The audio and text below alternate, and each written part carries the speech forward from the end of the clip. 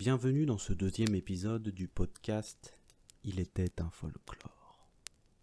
Nous allons aujourd'hui en Normandie, à la rencontre du monstre du Loch Ness français. Éteignez vos lumières et laissez-moi vous conter l'histoire du monstre de Kerqueville.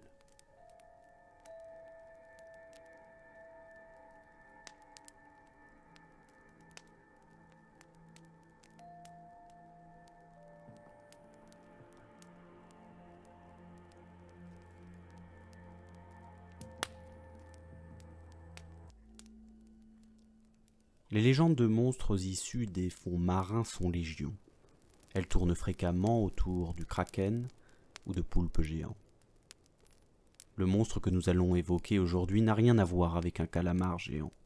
D'aucuns l'assimilent à Nessie, le monstre du Loch Ness. Dans la nuit du 26 au 27 février 1934, un étrange animal marin est venu s'échouer sur la plage de Kerqueville long de huit mètres, un cou d'un mètre vingt allongé comme celui d'une girafe, le corps plus large mais très long, équipé de grands ailerons ornés de poils blancs très épais, une tête ressemblant à celle d'une tortue. C'est la folie dans le village, tout le monde vient voir le monstre, à pied, en vélo, on accourt. Les savants qui se déplacent rangent le spécimen dans la case des cétacés, et plus précisément des hyperodons. Averti le 1er mars au soir, le directeur du Muséum national d'histoire naturelle a désigné le professeur Georges Petit pour tenter d'éclaircir l'origine de ce monstre. Le professeur, arrivé sur place le 3 mars, décrit alors la carcasse comme une masse informe de couleur grisâtre qu'on aurait pu prendre dès l'abord pour un rocher si elle ne s'était pas prolongée en avant la colonne vertébrale en partie décharnée et le crâne nu et blanchâtre. Georges Petit le classera alors non pas comme un cétacé, mais comme un poisson plagiostome de l'ordre des célaciens. À l'issue de ces observations, il supposera qu'il s'agissait d'un squale pèlerin, mais sans pouvoir l'affirmer, en l'absence de dents, de spicules de la peau, et étant entendu que le crâne n'était comparable à aucun autre. Un cas similaire avait été répertorié le 7 octobre 1808 à Stronzay, à Hastings la même année avec un squale de 9 mètres 30, en 1809 en Cornouailles, 9 mètres 44, en 1810 à Dieppe et en 1822 à New Jersey. Ces cas font écho à la légende du serpent de mer, et c'est d'ailleurs sous ce nom qu'avait été présenté l'animal retrouvé à New Jersey, Sea Serpent. Le serpent de mer, parfois appelé dragon de mer, est un monstre mythique d'une taille colossale, qui fait l'objet de nombreux contes et légendes. Il est observé depuis des siècles dans toutes les mers, et sa trace la plus ancienne pourrait même être la Bible, en l'incarnation du Léviathan. On le retrouve également dans la mythologie nordique, avec le nom de Jormungandr. Gigantesque serpent marin capable de cracher du venin mortel.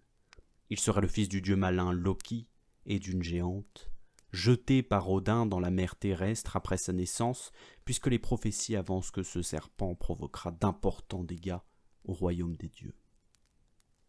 Le serpent de mer possède une étrange crinière et des yeux assimilés à des flammes. Il attaque les bateaux en se dressant sur les flots et arrache la vie des marins qui se trouvent sur ces navires. On peut trouver trace du serpent de mer dans de nombreux journaux d'équipage de marins de diverses époques, mais aussi une illustration sur la Carta Marina, carte élaborée en 1539. Son auteur précise qu'il s'agit d'un serpent qui a bien 200 pieds de long, c'est-à-dire 60 mètres, et 20 d'épaisseur, 6 mètres. Présente une masse de poils d'une coudée de long qui lui pendent du cou, des écailles aiguës de couleur noire et des yeux rutilants comme une flamme. Les serpents de mer auraient en effet la plupart du temps une peau marron ou noire sur le dos et un ventre blanc, voire jaune. En août 1817, dans la baie de Gloucester, un serpent de mer apparaît plusieurs semaines de suite.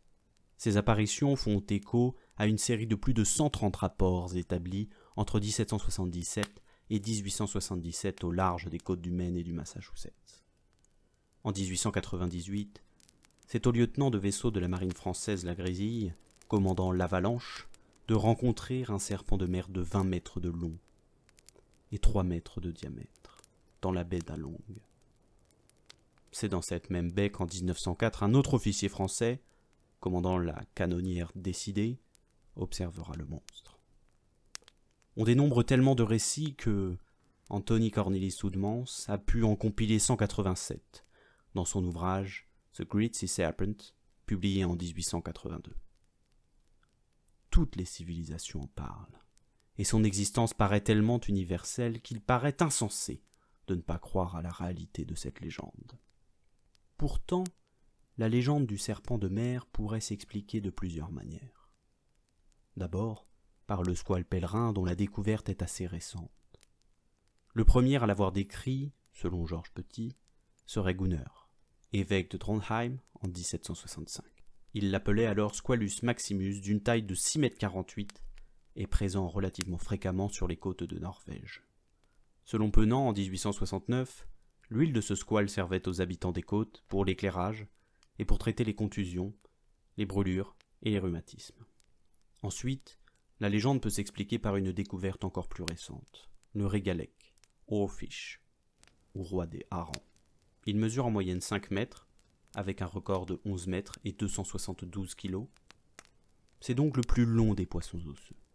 Il reste très méconnu, on ne connaît ni son régime alimentaire ni sa durée de vie. Enfin, la légende du serpent de mer trouve une explication en cryptozoologie. Bernard Revelmans souligne ainsi que certaines observations résultent en réalité d'animaux désormais répertoriés. Calmar géant, requin-baleine, régalec. Mais il distingue aussi cinq types d'animaux non répertoriés. L'otarie à long cou, qui serait la majorité des observations. La superloutre, d'une taille de 20 à 30 mètres. Le multiboss, d'une taille de 18 à 30 mètres. Le cheval marin, d'une taille de 10 à 30 mètres. Et le multi-aileron d'une taille de 10 à 30 mètres également. Alors, animaux non découverts, légendes irréelles, récentes découvertes? Nul ne connaît la réponse.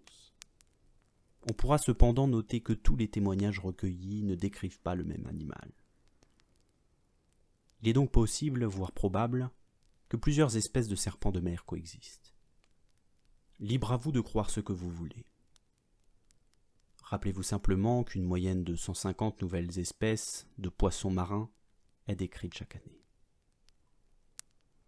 Nous en avons terminé avec le monstre de Kerqueville et la légende du serpent de mer, et vous pouvez retrouver mes sources en description de cet épisode. Je vous laisse également découvrir un reportage effectué par Planète Plus sur le serpent de mer et le régalec, d'une durée de 50 minutes, dont le lien est également en description. Je vous invite enfin à vous abonner à la newsletter afin de recevoir tous les prochains podcasts directement dans votre boîte mail et qui sait, peut-être un petit peu de contenu exclusif. Merci de votre écoute et à très bientôt.